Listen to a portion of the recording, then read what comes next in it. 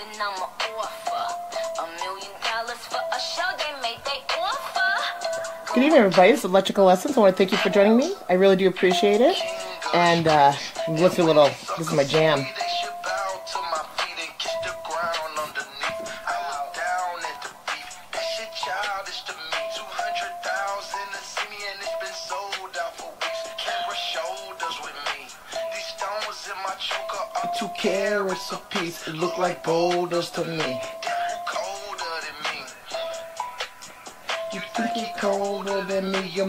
You're than me, you talking crazy. I love the song. So anyways, just had to play something good, one of my favorites. Alright, so tonight's episode, give me just a moment here, I'll get them back on the line. I got uh, Lady of the Shadows, Storm Dancer, and uh, you know, I have to come up with a good little fucked up nickname for for Bob. His name's Bob. Okay. Alright, you can take me off you can take me off mute. Okay, you're off mute. Okay, so I've got I've got the recorder going here. I do my little intro. Oh my god, you did not. Oh yes, I fucking did. So so oh just just real quick and I um I did a episode. Well, I did just got to do an episode and I got to design the covers for that. But um so we have a Leo sun and we have a Leo moon. We have a Leo sun with a Sagittarian moon and we have a Sagittarian sun with the Leo moon. So and both Earth risings. We have a Capricorn rising with a Taurus rising. So we basically have the devil with the bull. Um, actually, I can't say that. I can't say devil because Capricorn is more of the it's the the mermaid, the goat, and the fish, and then we have, of course, the the two lions, and we we all know that the woman's lion is always a lot louder and the bite's a lot more vicious than the male lion because it's the male do sends the women out to go, you know, do all the hunting and all the hard lifting and everything. So. Sorry, I just had to talk a little shit. so, anyways, I just I had I had to put you on the spot. So, hey, how often does an Aquarius get a Leo Sun and a Leo Moon all together in a in, in a space? Uh-huh. you are a brat. Oh, I'm more than a brat. And I'm gonna kick your astral ass. Oh my god, and I would love it too. I'm a little bit into that. What is she talking about? hey, so you want to explain to Mr. Leo, uh, uh, what, son over there, what's going on? All right, Mr. L- Oh, Bob. Bob. I guess you know that Bob. It's Bob. It's Bob. We'll, we'll go with Bob. So Bob. So Bob uh, being a Leo sun with a Sag moon. Now, one thing that I have picked up on with um, men that have Sagittarian moons, mind you, remember um, Tim has a Sagittarian moon. Um, Sagittarian moon with men, they seem to be a little bit more, a little bit more laid back than women with Sagittarian moons. Seems like women with Sagittarian moons are a little bit more fierce. I don't know if it's um, with that masculine sign being on that moon, but um, but men with such, especially fire sign men with Sagittarian moons. Um, I've had the pleasure of meeting an Aries with a Sag moon, and now a Leo with a Sag moon, and oh, and I have met a Sag with a Sag moon, and he was pretty cool too. But they seem to be a little bit more. Um, I think that they're a little bit more open-minded when it, compared to um, women with Sag moons, and then when you start taking looking in from like the from the sun and moon aspect of the Leo, because the Leo is ruled by the sun. That's that's fifth house energy, and so person with the Leo sun usually you know they do like to be, you know, all those fun qualities that come with being a Leo. You know, they do like being center of attention. They do like, you know, they do like being put on the pedestal and being loved upon. But there's definitely a different energy when it comes to men and women Leos. I've, I noticed that male Leos are a little bit more laid back and not all, you know, like fiercely in your face like a lot of female Leos. Mind you, it seems to be more of the August Leos and female Leos. You know, they're a little bit more, um, they're a little bit more aggressive. And I've noticed that with male Leos, they are a little bit more kind of laid back and, and chill and like they like they know like a lot of them they know they know their strength they know their their confidence they know their courage. You know um with the female leo you know she's gonna assert her fucking dominance real quick you know with the male leo. They usually don't they don't usually do that. They only do that usually if they have to or if they feel the need to.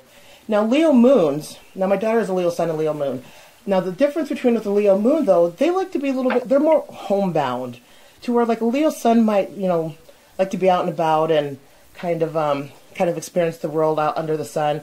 A Leo moon is a little bit more comfortable under the moon, and you know the moon that's um, fourth house energy, and um, Leo moons usually like to um, they like to be center of attention in their own home, you know, and a lot of times that center of attention is not so much like that, you know, pay attention to me, me, me, like that that immature center of attention, but it's like it's that center of attention of when I speak, you listen. When I have something to say, you know, like that that center stage, you know, that presence, and um, what?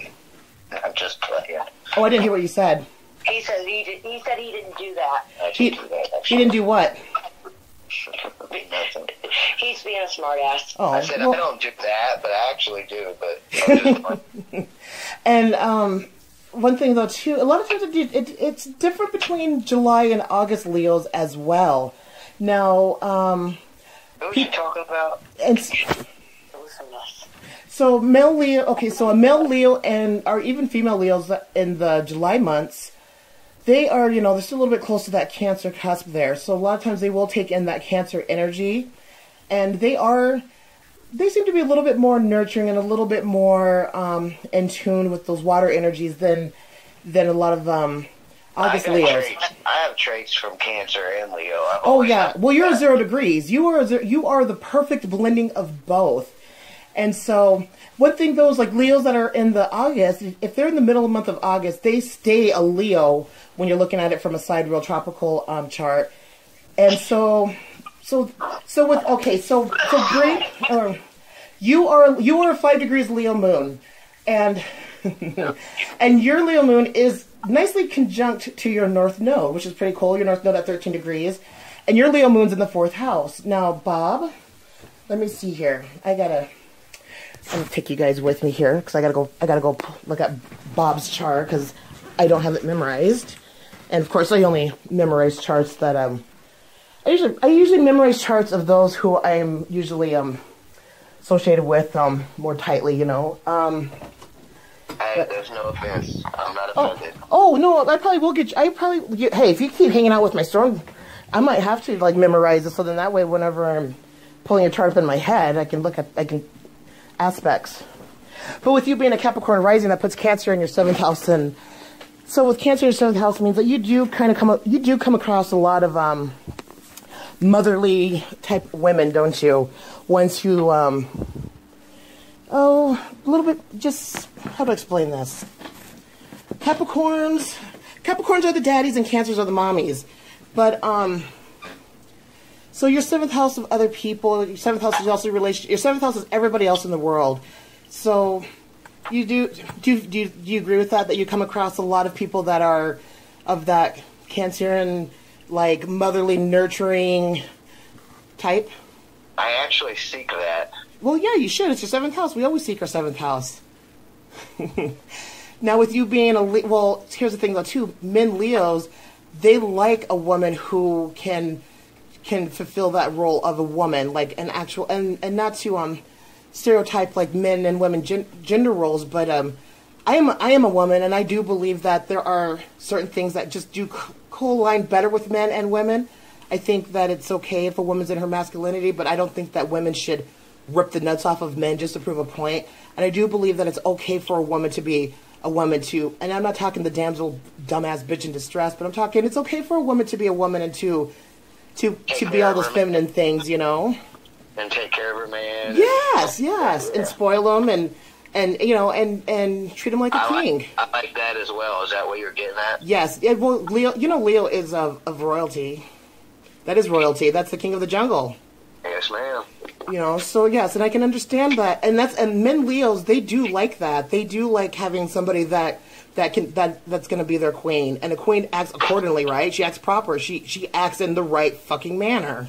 Yeah, she's uh, she's uh, uh, a lady on the street and a freak in the sheets. Right, and also too, and holds her composures and, and knows how to act like a lady, and also knows how to act like a woman and a mother and a partner and and everything. You know, like I mean, a king really does look for a queen, and a king doesn't look for a queen who's going to act like a king. No, they want they want somebody that is going to be within with with all those aspects. You know, and I respect Mel Leos for that. You know what? I actually, I don't know if this has anything to do with it, but I actually look for like uh, somebody, not necessarily to dominate me at all, but So- strong. Sometimes, sometimes I need put in my place. You need something strong. You know what I mean? Yes. See, now Cancer women are strong. See, your seventh I like I like to do what I want to do every any time, but I also like when when when it's bad because I don't make the best choices, and uh, when it's bad, I like somebody to be there to tell me, no, you're not doing this. You know, even though it's not telling me what to do. You know what I mean? I don't know. Well, yes, yes, yes. I know exactly what you mean, and you know a lot of that has to do with your Sagittarian moon, because Sagittarius is want a partner that is communicative. You know, because across from them is Gemini, so of course they're going to pull that energy in. So, so you having a Capricorn ascendant means you do look for a Cancerian type of woman who has those qualities that can cook, that can clean, that can work. Because that's what Cancer women do. They work hard at home and they work hard hard at work. Did you know that Capricorn and Cancer? I call them the money team. I do. I call they're the money makers. They're the mom and dad of the zodiac. You know, the Capricorn What- works extra what- hard. What month is Capricorn? Capricorn is the ending of December to beginning of January. And so, and so, I can see that your seventh house of Cancer, but then with you being a, a Sagittarian moon across from Sagittarius is Gemini, so you want somebody who is dualistic in thinking, as in you want somebody who can versatilely talk about anything and be open-minded and can switch into that masculine and to that feminine role. Somebody who does have a strength about their mind and somebody that is communicative, that is going to talk to you and not get too overly emotional about shit when you're talking because it's communication. And then your Leo, your Leo sun sits across from Aquarius. So you want somebody who is Aquarian in, in a sense to where they're humanitarian and that they do like networking and they do like being able to be a, a service to not only themselves but others and that can really, you know, pick up the slack of where Leo is lacking. Am I am I on point there? Yeah. For the most, yeah. I mean, I definitely hate it when there's no communication, and I can't stand when I'm trying to tell somebody something, especially about my feelings, and instead of listening, they get upset. Yeah, yeah. Oh god, that shit pisses me the fuck off ah, I, too. I cannot fucking stand that. And I'm like, dude, I'm really just sitting here trying to talk to you. I'm really pouring out my feelings here. And you're over here taking two words out of the whole paragraph that I just said and running with it, you know? Oh And it's- god, I, I I bitch about that we all know the nothing time. about that, do we, Melanie? What?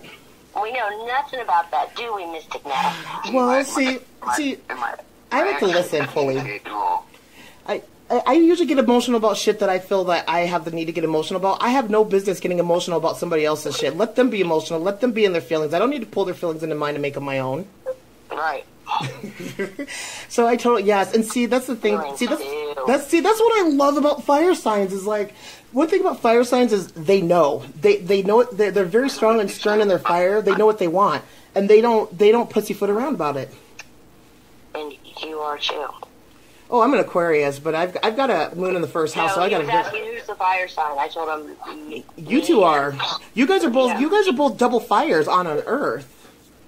You Yeah, get. that's fucking not good, is it? Oh no, that's well double fire. That burning up the Earth with your double fire. No, it's actually. Um, I love that. It's like taking the t- taking the fire of the soul and sticking it into the Earth, the body. You know, it's. I like fiery people. I do because I can't stand a fucking weak ass watery motherfucker. I'm, I put a hundred percent in everything I do, whether it's bad or good. Right. That's that's um. That's your Capricorn. Well, that's that that's your Capricorn rising. You know, that's your. call, I call it I call it being passionate. Yeah, but your passion that comes from that's your Leo and your Sag, and yeah, you know your Sun, Moon, and Rising. Those are the those are, those three archetypes makes up the main core of your personality, and not only your personality, but your looks, and not only your looks, but to the whole dynamics of your soul. So you are a Sag Moon, Leo, Le, Leo Sun at a zero degrees, which means you are a perfect blending of a Cancer and a Leo together. So you are, you do have a lot of those qualities of a Cancer, and then and then you're rising as a Capricorn. That's Earth. You are you are hardworking. I'm a what? You are hardworking. Capricorns are hard, Capricorns. Actually, Capricorns work their ass off until they get into the boss position. Then they make everybody else work their ass off. trying, that's what I'm trying to do. Well, that's what, that's what everybody should do. I mean, that's that should be the goal. You should be your own boss until you can boss up to a level to where you can be other people's bosses. Exactly. That's one thing uh, I do respect about Capricorns. I've, I've worked since I was 12 years old. Yeah, because you like money. Sagittarius is like money, and Capricorns like money. Cancers like money. but at, but at the same time, I've been poor my whole life, and it don't bother me. You know what? But what do you consider poor, though? I mean, what what, what do you think? Like, like money wise, like wise. Did, did you did you grow up poor as a child? Yeah. Like how poor? Um, Like Malcolm in the Middle poor, or Roseanne poor, or Family Matters poor? Because those motherfuckers weren't poor. Roseanne poor. Ooh, Roseanne poor. That see that that's that's the right kind of poor. That's the kind of poor that makes you work your ass off. Right. Because you have because that's how you were raised. You were raised to work hard. Yeah. I mean, there was times my mom didn't eat because there wasn't enough food. You know what I mean? Yeah, and um, you know, and that's and that says a lot about a person's character when they take their childhood experiences and, and, and allows it to strengthen them instead of weaken them. Yeah. So, um, and you know what though, um, oh, that's that's actually awesome. And and Roseanne, by the way, is one of my favorites. Same with Malcolm in the Middle, but um. So you do have um so you do have drive and you do have passion and you do have a goal in life then. I don't know about a goal, but Ooh. yeah. You don't have a goal. You have no goals. You gotta have a goal. You can't just you can't just, My goal, my goal is to just be happy. Uh, oh, see, now I'm gonna have to talk a little shit about your goal because there's more to life than being happy. Happy? What's happiness to see you then? Um, my my kids uh, growing up and being successful. So, so your goal is to be happy. What would what else would make you happy besides your children? I don't know. You know, Leo's also linked to children. Fifth house is children because fifth house is also a sexual house. Leo is a sexual sign because what is Leo? Leo is the creativity and the passions and the lust and and that center stage of connecting in and creating our children because we create our children through our passions and our creativity, right? The creativity of being in bed, of course. I So don't, yeah, I don't know. I So- don't know if this means anything, but I have five kids by five Uh, different yeah, women. you know what? That does not. You know what? That that does not surprise me that you have five children, and that's kind of neat that you have five with because Leo fifth house, fifth house is the heart, and usually Leos are um Leos are very passionate about their children, and Leos. Did you know that Leos is one of the zodiac types that make some of the best parents? Yeah. Um, they're actually better parents than, than cancers, to be very honest with you. And you would think cancer would be a good parent because it's the mom of the zodiac. No, Leos. Actually, Leos, Tauruses, and Scorpios make some of the Scorpio women. I don't know. I can't. I, I, I can't. I can't really go there too much with men 'cause I don't know a lot of Scorpio men, like in relationship to his parenting. But like, they make. They are some of the best parents.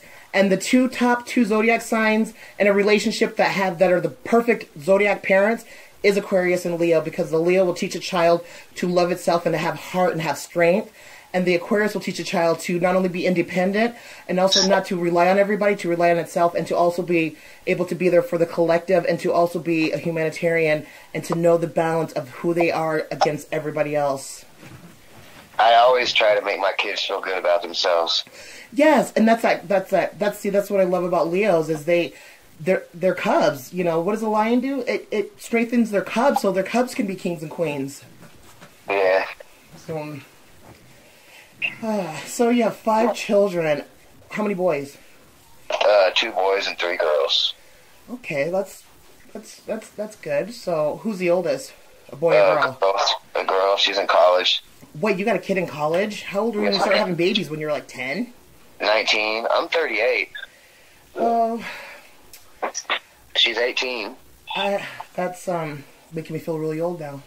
I have one that's 18, 20. 18, 16, 15, 10, and 20 months. Well, let's just hope you don't become a grandpa for another what ten years, right?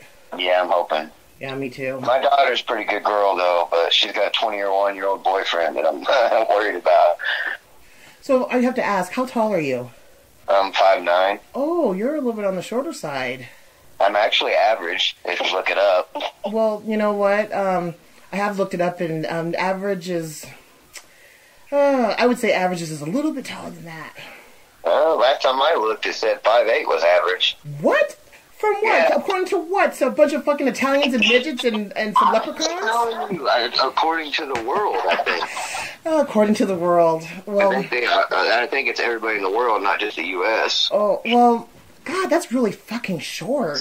Yeah. That's really fucking. My, my dad's only five three, so I really Okay, I love so to talk shit about short I people. What? Why'd you ask how tall I was? I always like to ask how tall people are. Kind of gives me an idea of I love her, so I would have to look down at you and Okay, for the, for the adult non-Hispanic white male, it's five feet nine point eight There inches. you go, five Oh nine my god, that's tiny. Yes. on average. That's tiny.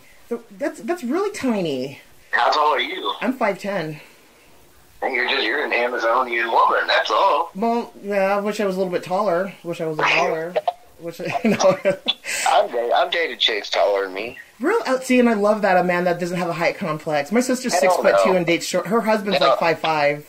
Now she wouldn't wear heels, and it wasn't because of my request. She just said that she didn't want, you know what I mean. She didn't want me to feel bad, so she would never wear them. I told her I didn't care, but she didn't wear them anyways. But See, I, I would I would rock them. I like I do wear- I do wear heels, and I I don't know. It's that, that's it that's don't really bother cool. me. I mean, I have some short guy friends that, that that prefer not to date taller women, but um, and I know a lot of tall women who don't mind dating shorter guys. Me, I do prefer. To be honest with you, you know, I the taller the sexier. Like I like them at least six three to like six ten, six six eleven. Jesus Christ! Um, I have, I, and, I, and I I don't, and I, and I don't, and I do not date anything that is my height or shorter because um, I've dated shorter guys, and the last one, um, I'm nope. You about broken? Oh, you know what though, shorter guys, this, no, no, they can be little psychos with the whole Napoleon complex. When a motherfucker is half your size and can fucking work you like a sack of potatoes, I'm good. he was also an ultimate fighter and a wrestler, so yeah, no, I don't, I, I don't do anything that I don't do anything under 180 pounds. Hey, and us shorter little guys can. Us people underestimate us small guys. Yes, they do. My stepdad was a little guy, and he was a firefighter, and he was had a 28 inch waist. He was a little dude. Yeah, they underestimate us. You I know- can, I can fight. I can fight. I'm pretty good. Yeah, you know, and, it's, and the little ones, the little spider monkeys, you know, they're quick and they're fast, and you know, and, and that that that leanness of their body is muscle, you know. Yeah, yeah. So, Yeah. oh, same with same with chicks. Like some of the most baddest chicks that I know are are little bite sized things. Yeah. They're little, little feisty little things, and so evil because they're closer to hell. But, We know nothing about short people. so And I don't I don't discriminate against like women. I I, I date tall, short, skinny. But what's your preference, though? Everybody has a preference. My my preference is probably just like just thick. I like girls with meat on their bones. Okay, and what about hair color? What's your favorite hair Um, color? Be honest. Honest, honestly, Say it. red. See, I knew you were gonna say. What did I tell you? I told you. See. Shut up. Oh, I've, I've been running. I've been running that poll for oh well over twenty years. Why do you years. say that? Because she's been running a poll on me. Well, not a poll on you, just a poll in general. I've I, I've been running a poll on what's your preference on like hair color, and the Well, redheads have it red. fucking hands down. Redheads, hands down. Redheads hands down, and then blondes. I was kind of shocked that some guys that had said brunette. See me personally, I like I- redheads, but I but I do like blondes. When it comes to I like I like brunettes, but um, two of my kids' moms are redheads. oh, and they're crazy bitches, huh? Eh. Yeah, say you can say it. Yeah, they're great. Yeah, Yeah. you don't, you don't, you don't ever want to piss off a redhead. And you know, but I mean, I, but you know, also it's it's more. It's not necessarily mostly about the hair. It's the skin color. Right, because some redheads have. Uh, it's and it also like- depends on the color of their red hair too. I like I like freckles and fair skin. Me too. I also like the I like the milky white skin with the dark red hair, like the like the. Yeah, I think that's Blood, blood red. like a like like a like. It's almost at a distance. It would be it would look more brown, but it's red, like that deep red. But I, I don't know why. I mean, even the girls that I date that are blonde, I still um, ma- they're fair skinned and freckles. See, and I and see, and I dig freckles now to a certain point. Like, and it, it just depends because you know, there's, but I do dig freckles, and um, I like and, and I like blondes, but I'm very very picky about blondes. Blondes, it can't be your average looking blonde. It has to be a very exotic blonde. It has to be exotic looking. Yeah. You know, not your not your go. door next girl blonde. Those not no not your average little fucking no like like a very uh, Anna Nicole is a very um, exotic looking blonde. Um, Charlize Theron is, is very exotic. I Um, used and to have a um, crush on her. who Anna Nicole Smith? Yes. Oh yeah, she, I, she's fucking love her. And redheads, okay, Laura Prepon, and it broke my heart when she went blonde, but I don't dig the. I, I like the black hair now. And Lindsay Lohan, that broke my heart when she went blonde, Yes. and it broke my heart when Nicole Kidman went blonde. Nicole Kidman, that was my bitch for years, I and then she went blonde. Nicole. Nicole had beautiful Oh, she did, and and you know she's all tall. Like okay, Nicole Kidman, like that body type on a redhead is my favorite. Like the tall, lean, you know, Yeah. real small boobs and uh, you know hips. Yeah, She was sexy. Now Yeah, she she blinks, her forehead will rip. yeah. And Laura Prepon too. Laura Prepon, she's like she's well, she's you know she's very voluptuous and she's you know she's tall and I and I and I do like You know, you know with women I like taller women. You know what's weird is I like, believe it or not, I like tomboyish kind of girls. Um, I can I, I, I get that with um, oh that's that that Sagittarian moon. Yes. Um, I guess not not tomboy, but I mean I like girls that ain't afraid to get dirty and stuff. So you like somebody that can work alongside you and, and get down into the grease then. Exactly. Yeah. So, okay. So that's I'm, I'm a mechanic, so yeah, and uh, that makes sense, and that's good. You know, that's that's that's good. Um, you know, a lot of. A lot, a lot of men, you know, a lot of them do like the tomboy, Libra, like Libra women. Libra men, women are kind of like that perfect example of a tomboy because they're the types that they hardly wear any makeup and they dress real average, but they're still like very them. sexy. I don't like a lot of makeup at all. See, and I don't either. I mean, I, I I love makeup, and I can. I mean, I can I can RuPaul it out myself, but but naturally, I like somebody who is more naturally looking. I think that's why I like redheads because a lot of them can't pull off the makeup because of their skin, and and everything. They do look more better natural. So. Oh, oh, okay. Shoe size. Okay, t- what's your shoe size? Five, uh, no, uh, I'm sorry. Um, it depends on the shoe, but a nine, Okay. I would say, average. Okay, okay, so, all right. I just had to ask because you know, well, well, my dad, my dad, like I said, my dad's only five three, but he wears like a size 10, 10 and a half. He's got some big feet for, for being a little, little. My dad's a redhead too, a little leprechaun guy. Um, all right. Um, so and uh, so in a woman's shoe, you would be a size eleven in women's shoes. Why are you seeing what size shoe I'd wear in know, women's maybe I sports? might go pick out a little pretty outfit for you. I'm not wearing women's shoes. no, no I, I, I, I was I was kidding there, but no, I was just kind of, just I just had to ask. Just oh, and, what co- and what color is your hair? What my hair is, um, it's really dark brown, almost black. What color is your eyes? They change colors. Are they hazel or are they green? They change from dark, dark, dark chocolate brown to hazel to green to tan. All of them, but mostly brown.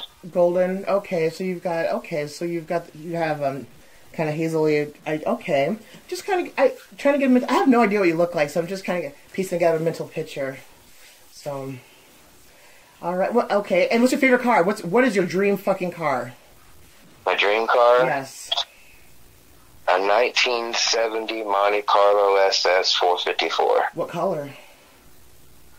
blue. What's the interior No, color? no, I'm sorry, brown, What what shade of brown though? Like a shit brown or a can brown? chocolate, chocolate, Chocolate. And the interior?